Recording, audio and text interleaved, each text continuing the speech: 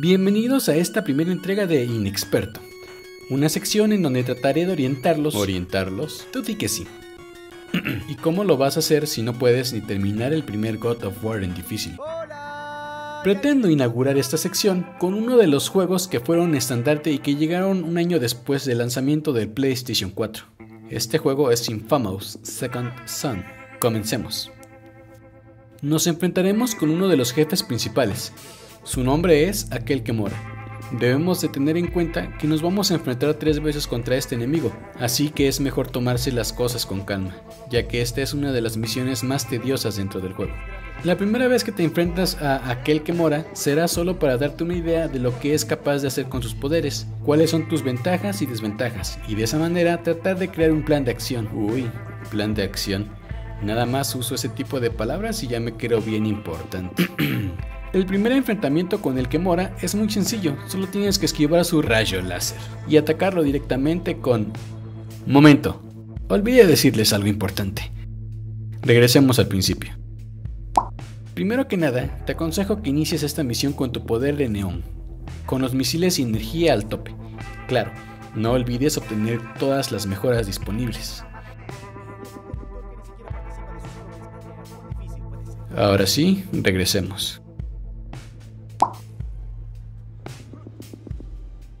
Te aconsejo que comiences a atacarlo con tus rayos. Evita usar los misiles ya que van a ser necesarios en el segundo enfrentamiento. Trata de esquivar el rayo láser. Y creo que también utiliza granadas. ¿Granadas? No recuerdo. Te darás cuenta que su contador de vida bajará muy lentamente. No hay bronca, es normal.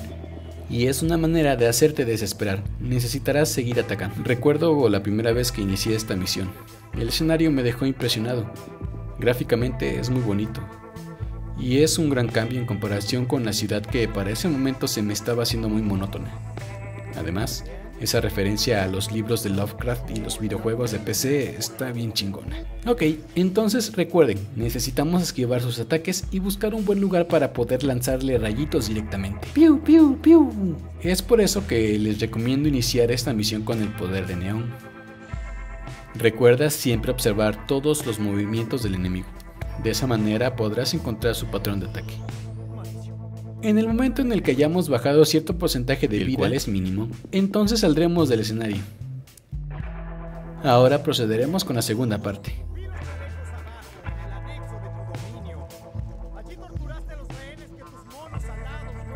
Uh, aquí comencé a atacarlo directamente. No lo hagan. Nada más me puse a gastar energía a lo tarugo. Sigo con la misma estrategia. Evadir dos ataques. Uno en donde lanza una clase de misiles. No eran granadas. y el otro el rayo láser.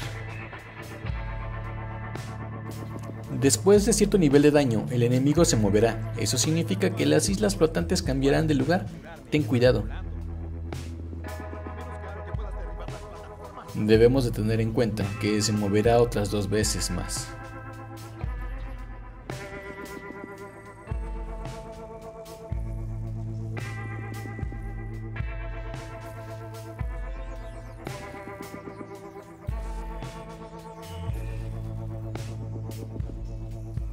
Creo.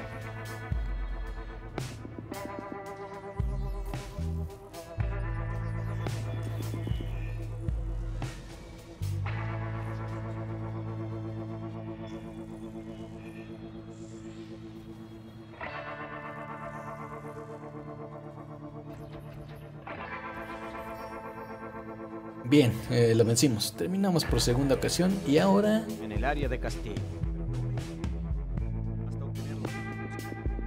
En el tercer encuentro, las cosas se van a complicar.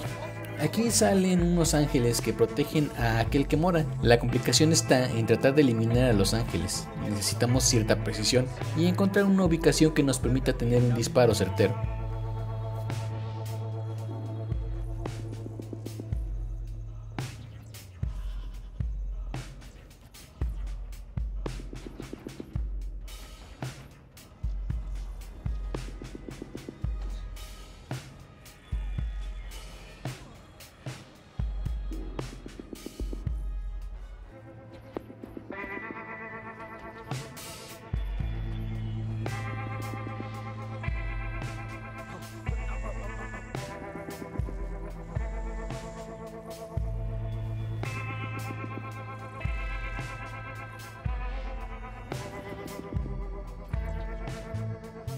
Al eliminar por primera vez a tu enemigo, se hace un cambio de localización dentro del mismo escenario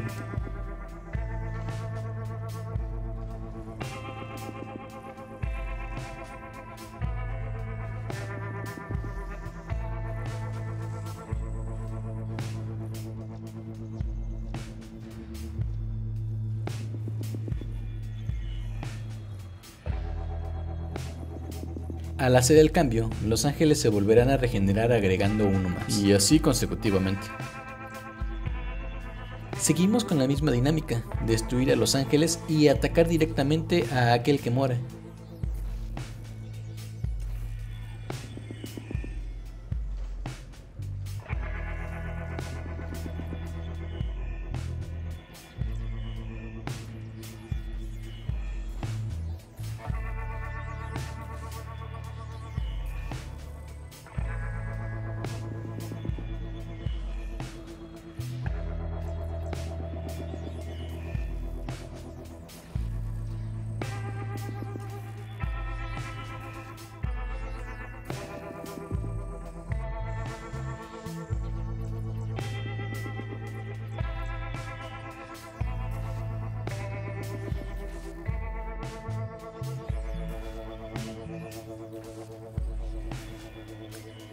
No hay más.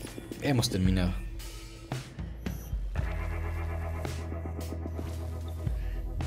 A manera de tip, podemos detener el ataque de nuestro enemigo con los misiles.